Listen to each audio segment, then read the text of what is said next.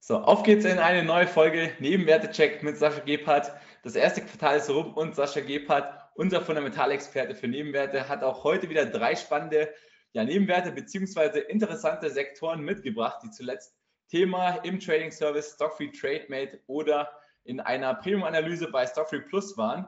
Und ja, Sascha, endlich mal Korrektur. Äh, läuft es dir zu gut bei den Nebenwerten? Zuletzt hast du dich ja immer eher beschwert gehabt äh, und heute früh durfte ich dann überrascht in deinem Stream, in deinem Stream auf äh, Stock Free lesen. Äh, ja, endlich Korrektur. Ja, gut, also ich meine, das betrifft ja hauptsächlich auch die großen Indizes wie jetzt den DAX oder äh, den SP 500. Jetzt bei den Nebenwerten ist die Korrektur noch ein bisschen verfrüht, würde ich sagen. Aber ja, es zeigt sich jetzt bei einzelnen Aktien durchaus auch eine stabilere Tendenz dann auch mal in den letzten Wochen. Gibt zwar immer noch äh, viel hin und her, auch bei Einzelwerten, dass äh, Sachen auch schnell wieder abverkauft werden, aber ja, mal schauen, ob diese Stabilisierung im Nebenwertebereich jetzt auch, ähm, wie wir sie jetzt zum Beispiel im S-DAX jetzt auch sehen, der jetzt ein bisschen nach oben ausgebrochen ist, ob da, ob da jetzt auch mehr kommt, als wir bis jetzt gesehen haben. Ja, sehr gut. Zumindest hast du einen grünen Pulli an, ich auch einen in der Art grünen. Dann schauen wir mal, was die Börse heute macht. Um 14.30 Uhr gibt es ja Arbeitsmarktdaten in den USA. Da wird dann der ganze Markt mal drauf schauen. Aber wir springen mal zum ersten Sektor, der dieses Jahr ja wieder mal sehr, sehr gut läuft. Äh, Rüstungsaktien, so traurig wie es auch ist. Äh, ganz vorne dabei eine Rheinmetall im DAX mit 85 Prozent year to date. Eine Hensoldt kommt auf 75 Prozent, eine Renk hat er sich zwischenzeitlich seit dem IPO auch äh, mehr als verdoppelt. Äh, ich habe auf Stock Free eine Alternative aus den USA vorgestellt, die jetzt nicht mit dem Tod anderer verdient, aber dennoch so einen Verteidigungscharakter hat. Äh, aber jetzt mal äh, zu den Rüstungsaktien. Ähm, meinst du, muss hier mal Luft abgelassen werden? Die Auftragsbücher sind ja auf mehrere Jahre schon voll und ja, skalierbar ist das Geschäftsmodell jetzt eigentlich nicht. Ja, also es ist so, ich habe mir jetzt einige von den Rüstungsaktien, die deutschen jetzt speziell natürlich angeschaut und ich habe jetzt auch einen Artikel geschrieben jetzt zu Renk. Ich berichte auch regelmäßig über Hensoldt und habe auch mir die Rheinmetall immer wieder angeschaut. Ich habe bei Rheinmetall ja mehrfach auch ähm, positive Artikel die letzten Monate jetzt geschrieben. Jetzt, ich sehe das ganze Thema jetzt äh, nicht ganz so emotional. Ich schaue halt da mehr oder weniger hauptsächlich auf die Zahlen. Und da muss ich sagen, eine Renk ist jetzt äh, bewertungstechnisch, die ist ja fast auf 40 Euro gestiegen, also jenseits von Gut und Böse meines Erachtens bewertet. Aber der Markt ist eben sehr eng und ähm, ja, wenn man sich anschaut, dass so ein Nebenwert wie Renk, der eigentlich in keinem der großen Indizes ist, dann immer bei den meistgehandelten Aktien auf TradeGate oder Lang und Schwarz dabei ist, dann äh, weiß man schon, dass man sich da irgendwo auch im Hype befindet. Und ich habe mir die Zahlen jetzt mal durchgerechnet. Ähm, da kommt man jetzt für dieses Jahr auf ein KGV von 40 bis 50 irgendwo ähm, das ist schon sehr ambitioniert. Und was mir jetzt weniger gefallen hat, muss ich auch ganz ehrlich sagen, ist äh, die Kommunikation von Renk. Weil die haben jetzt in ihrer Pressemitteilung gesagt, sie haben im letzten Jahr ein EBIT von 150 Millionen Euro erzielt. Ähm, und wenn man dann in den Bericht schaut, stellt sich dann heraus, dass man nur ein EBIT von 89 Millionen Euro erreicht hat und sich äh, bei den 150 Millionen um eine stark bereinigte Kennzahl handelt. Die haben das aber gar nicht jetzt auch in ihrer Pressemitteilung jetzt erwähnt, dass es sich um eine bereinigte Kennzahl handelt. Also hm, da ist auch die Kommunikation jetzt so ein bisschen schwierig. Ähm, ich weiß nicht, wer das bei denen da so steuert, aber ähm, es ist auch klar, ähm, Triton hält ja immer noch die Mehrheit bei Renk, äh, dass die absehbar dann auch äh, ihre Beteiligung natürlich auch deutlich reduzieren wollen oder ganz raus wollen. Und wenn man jetzt mal seit dem IPO-Termin so sechs Monate rechnet, wo dann neue Aktien verkauft werden könnten, würden wahrscheinlich gegen August würden dann Umplatzierungen bei Renk dann neue kommen.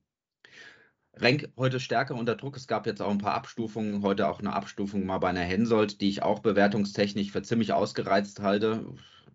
Ja, auf unbereinigter Basis jetzt äh, kommen die jetzt auch auf den 40er KGV. Da muss man sich jetzt auch langsam fragen, trotz voller Auftragsbücher, wo ist da dann mal das Ende der Fahnenstange erreicht? Und lustigerweise ist die Rheinmetall mit Abstand immer noch die günstigste Aktie im Sektor, dann, wenn man jetzt rein auf Deutschland schaut. Mhm. Die kommen jetzt so auf den 25er KGV, wachsen auch sehr, sehr stark, wachsen sogar stärker, auch als deutlich stärker als eine Renk oder eine Hensoldt. Und ähm, ja, da ist meines Erachtens momentan noch die meiste Substanz dann vorhanden. Ja, sehr, sehr gut. Ich sehe es auch hier so im Chart gerade. Ähm, ja, ist jetzt eine wichtige Unterstützung, die jetzt halten muss, so um die äh, 30 Euro rum. Natürlich auch psychologische Marke. Ähm, wenn das äh, nicht der Fall sein sollte, könnte es erstmal ja in Richtung äh, 29,50 äh, runtergehen und da muss man schauen. Aber wie du schon gesagt hast, die Aktie ist fundamental sehr teuer, wird natürlich regel gehandelt, der gesamte Sektor. Ähm, da gibt es natürlich auch Profiteure, da sprechen wir dann auch ganz zum Schluss noch äh, darüber. Aber ich würde sagen, kommen wir zum nächsten Thema. Ähm, zur Wochenmitte gab es ja ein Erdbeben in Taiwan und ähm, ja, da wurde natürlich der weltweit größte Chiphersteller Taiwan Semiconductor auch ein bisschen ja, getroffen und musste den Betrieb für ein paar Stunden einstellen. Aber laut äh, Taiwan Semiconductor ja, ist der, äh, die, sind die Auswirkungen, der Impact, ja, hält sich in Grenzen, auch wenn Nvidia sagt, dass es da keinen ja, Einfluss geben wird. Glücklicherweise sind da nicht viele Menschen umgekommen. Ähm, du hast ja heute auch einen Artikel zu Samsung veröffentlicht und auch äh, Micron Technologies hast du äh, zuletzt äh, gecovert gehabt. Die ist ja sehr, sehr stark angesprungen. Ja, äh, wie hängen diese beiden Player mit äh, einem Unternehmen, das du gleich vorstellst, ja, aus Deutschland zusammen und ja, wie siehst du so die Lage bei Samsung und Micron? Ja, also ähm, die Erholung im Speicherchipmarkt ist, geht viel schneller äh, jetzt äh, vonstatten, als äh, Analysten gerechnet hatten. Ähm, ursprünglich wurde bei Micron erst äh, für 2026 mit neuen Rekordgewinnen gerechnet und die haben die Prognose jetzt quasi ein Jahr vorgezogen und haben gesagt, sie werden noch zwei, schon 2025 neue Rekorde feiern können. Das hat natürlich auch in der Samsung jetzt geholfen. Die haben heute gemeldet, dass sie ihren Gewinn im ersten Quartal gegenüber dem Vorjahr verzehnfacht haben, was auch hauptsächlich eigentlich nur an der Erholung im Speicherchipmarkt zusammenhängt. Dort haben sie die äh, letzten Quartale Geld verloren in dem Bereich. Und ja, wir haben in Deutschland die Siltronic. Ähm, und Samsung und Micron zählen zu den fünf größten Kunden von Siltronic. Äh, Siltronic hat für dieses Jahr eine extrem zurückhaltende Prognose jetzt herausgegeben. Ähm, wenn ich mir das jetzt mal anschaue, die erwarten nur einen Umsatz etwa auf Vorjahresniveau und äh, Analysten rechnen jetzt damit, dass äh, Siltronic sogar einen Verlust dieses Jahr ausweisen wird, nachdem man ähm, vor zwei Jahren noch 13 Euro pro Aktie verdient hat, letztes Jahr 6 Euro pro Aktie, äh, soll dieses Jahr ein leichtes Minus stehen, ehe sich dann 2025 wieder deutlich erholt.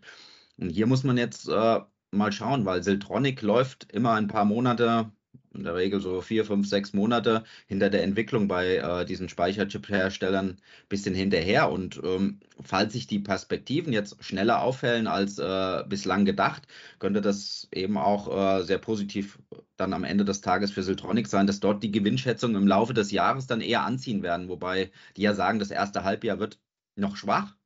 Aber es könnte durchaus sein, wenn sich dann zeigt, dass es ab dem dritten, vierten Quartal schon schneller, deutlich besser wird.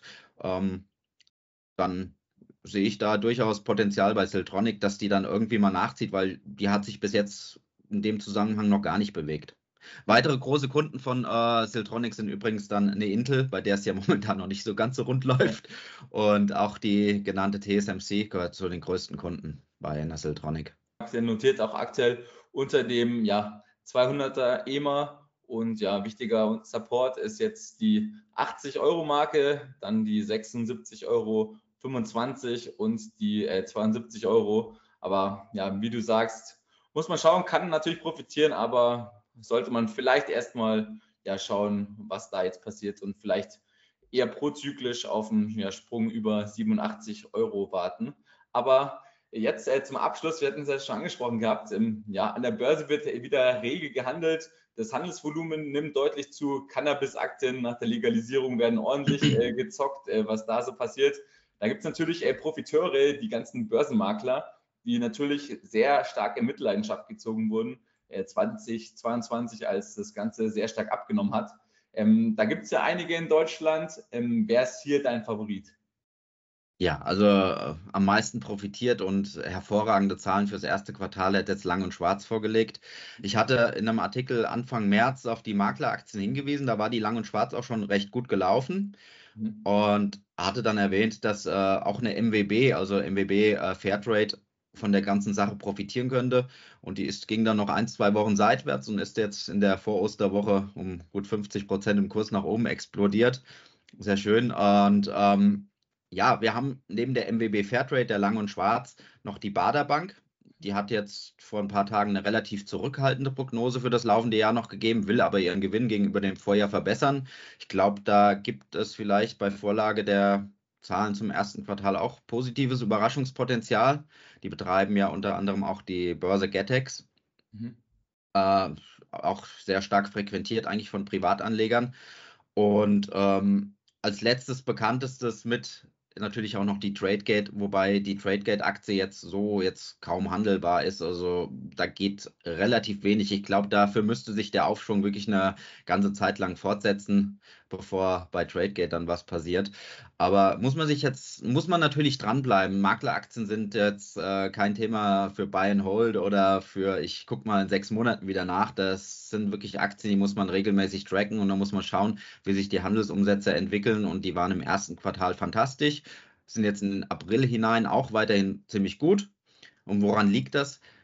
Die Leute handeln halt wie verrückt künstliche Intelligenzaktien und solche Sachen. Ähm, wenn ich jetzt mal schaue, meistgehandelte Aktien regelmäßig vorne mit dabei, eine Nvidia oder eine Supermicro. Ähm, die werden natürlich auch in Deutschland dann ab 7.30 Uhr, 8 Uhr bis 15 Uhr wild von deutschen Privatanlegern dann gehandelt. Und solange die US-Börsen noch geschlossen sind, äh, sind die Spreads in der Regel bei diesen Aktien dann noch größer, als äh, wenn dann die US-Börsen entsprechend offen haben. Das heißt, äh, die Makler verdienen eben an diesen Spreads, dass diese Spreads, reger Handel, äh, das ist, spült denen bares Geld dann auch in die Kassen. Mhm. Ja, bin ich äh, sehr, sehr gespannt, auch so wie es äh, Payment for Order Flow mäßig, ob es da irgendwie einen Impact haben könnte. Aber wie du sagst, das Handelsvolumen, die Handelsaktivität ist sehr, sehr hoch ähm, und ich habe gerade mal den Chart offen. An sich, wenn man jetzt länger zurückblickt, eigentlich ein sehr schöner Aufwärtstrendkanal, schön auf der äh, Trendlinie wieder nach oben gedreht. 2020 bis 2021 sagenhafte 1258 Prozent gemacht. Dann ging es vom Hoch 85 Prozent runter und jetzt ja knapp wieder 100 Prozent gemacht. Gerade arbeitet man sich an den äh, 13,65 Euro ab. Da äh, verläuft auch jetzt der EMA 200. Also wenn man darüber springt, sähe das schon gut aus. Auch die äh, kurzfristigeren EMAs, der 50er und 21er, drehen äh, schön stark nach oben. Also eine Unterstützung könnte man sich so bei 12,40 bis 11,90 mal so im Blick äh, behalten, diese Zone. Und ja, nach oben wären dann so die nächsten Ziele, ähm, ja, 16 Euro, 18 Euro. Also der Chart sieht sehr, sehr explosiv aus. Ja, man muss, muss aber auch ein bisschen noch äh, im Hinterkopf behalten, Lang und Schwarz mhm. hat immer noch diese ganze Cum-Ex-Problematik ja, genau. im Hintergrund. Da droht noch ein zweistelliger Mil Millionenbetrag, den die zahlen müssen äh, für Geschäfte eben in früheren Jahren im, im Zuge der Cum-Ex. Geschichte. Mhm. Allerdings äh, haben die dafür auch schon reichlich Rückstellungen gebildet, die eigentlich ausreichen sollten, ähm, dass das jetzt nicht mehr zu einer neuerlichen Belastung wird. Aber falls da irgendwas kommt, ein Urteil fällt oder eine Strafe dann fällig wird, dann hätte das natürlich kurzfristig erstmal negativen Einfluss auch auf die Aktie. Das muss man speziell bei denen jetzt beachten. Eine Baderbank und eine MWB Fairtrade haben diese Problematik zum Beispiel nicht. Wenn euch das Video gefällt oder das Format generell, dann gebt uns auf jeden Fall einen Daumen hoch, lasst ein Abo da, um kein Video mehr zu verpassen. Am besten die Glocke aktivieren, dann bekommt ihr direkt eine Benachrichtigung. Und äh, wie immer zum Schluss nochmal die Frage an dich. Ähm, ja, gibt es einen Favoriten bei dir jetzt äh, von den Sektoren her äh, und dann vielleicht auch einen von den äh, Werten innerhalb des Sektors? Ja, äh, natürlich ist eine Lang und Schwarz äh, vorne mit dabei. Ich, ich halte auch die Bader so als Nachzügler so ein bisschen, da ist jetzt noch nichts passiert, vielleicht für so einen kleinen Überraschungskandidaten, der dann nochmal so ein bisschen zulegen könnte, ja.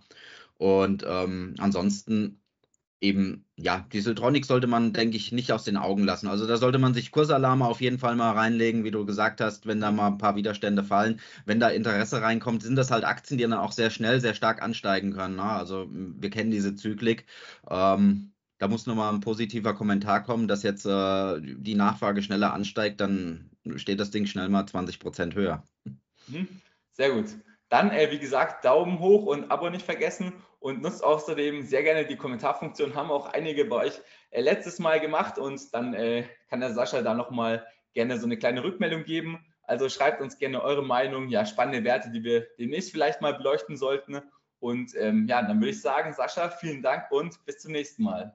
Ja, danke dir. Schönes Wochenende euch. Gleichfalls.